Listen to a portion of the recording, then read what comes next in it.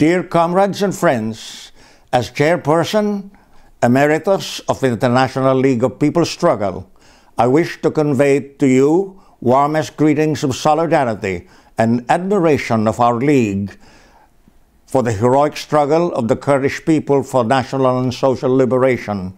We salute you for having undertaken a sit-in strike in front of the Council of Europe since October 12. On this day, we have the honor to congratulate you for your success in calling the attention of the people of the world to the unjust imprisonment of the leader of the Kurdish people, Comrade Abdullah Öcalan, to his torture by solitary confinement and other cruel and inhuman forms of punishment, and to the urgent necessity of setting him free as a matter of justice and respect for human rights. The time has come for his freedom it is appropriate and necessary that we make this demand before the Council of Europe, which is responsible for the prison island Imrali, where he has been held since 1999 or 21 years ago. The Council is well aware that Comrade Öcalan has been subjected to isolation for so long. This is an excruciating form of combined mental and physical torture I know this from my own experience of solitary confinement under the Marcos fascist dictatorship. The physical torture is in the constancy of cramped space, sensory deprivation, and lack of human contact except with the tight lipped guards. But the consequent mental torture is incalculably far worse.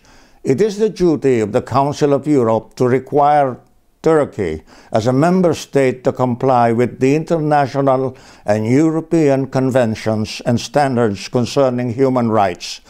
Torture is absolutely prohibited. The infliction of torture on a prisoner is sufficient ground for the immediate release as a just and necessary recompense for the grave abuse of human rights. It is therefore just and appropriate for the Kurdish people and the people of the world to demand that the Council and its Committee for the Prevention of Torture require Turkey to release Comrade Öcalan, or else certain sanctions would fall on this errant member state. All efforts must be exerted to expose and oppose the systematic and gross violations of human rights being committed by the Erdogan government in the course of imposing fascism on the Turkish and Kurdish people and in carrying out expansionism and violating the Kurdish people's right to national self-determination. The Erdogan government is well-headed and has illusions of building an empire, but in fact it is just a tool of imperialist powers for destabilizing the Middle East and the MENA region and for dividing and ruling the various peoples for the purpose of exploitation and oppression. The ILPS has already declared that this coming November is a month of global solidarity with Kurdistan and that the main slogans of the international campaign are Free Öcalan, Free Kurdistan. The current chairperson of the ILPS, Len Cooper, has declared that the ILPS stands in militant solidarity with the people of Kurdistan against the fascist oppression and occupation by the Turkish state. At the same time, the ILPS demands the immediate release of Comrade Öcalan and all other political prisoners by the Turkish fascist state headed by Erdogan. The ILPS International Campaign of Solidarity for Kurdistan will start on the 1st of November to celebrate the anniversary of the liberation of the Kurdish city of Kobane from the ISIS occupation. We unite in upholding World Kobane Day to honor the heroic Kurdish people and the volunteers from other countries.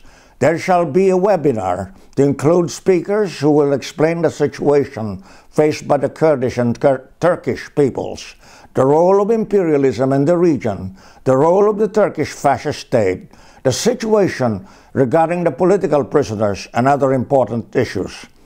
There shall be succeeding events of various types, like webinars, film shows, cultural performances, and signature collecting. These shall be undertaken by the ILPS at the levels of the international, continental, and national.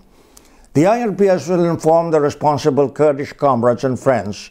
You can also take the initiative of informing yourselves of these events by visiting first the international website and Facebook page of the ILPS, and then you can proceed to visit any of the, the websites and Facebook pages of any global regional committee or any uh, country chapter of the ILPS. We have a common cause of fighting for national liberation, democracy and socialism against imperialism and all reaction. The conditions are favorable for advancing and winning revolutionary victories as the crisis of the world capitalist system is worsening. The neoliberal policy of imperialist globalization is unraveling Inter-imperialist contradictions are intensifying and imperialist and reactionary forces are unleashing state terrorism, fascism, and wars of aggression. The proletariat and people in capitalist countries are driven to fight for socialism against the monopoly bourgeoisie, and so are the oppressed peoples and nations, especially the toiling masses of workers and peasants, against the foreign and domestic oppressors and exploiters. The anti-imperialist and democratic struggles are already intensifying on a global scale. The Kurdish people's struggle for national and social liberation is among those in the forefront. The resurgence of the world proletarian socialist revolution is foreseeable. Free Öcalan, liberate Kurdistan, down with the Erdogan fascist regime. Long live the Kurdish people. Long live international solidarity.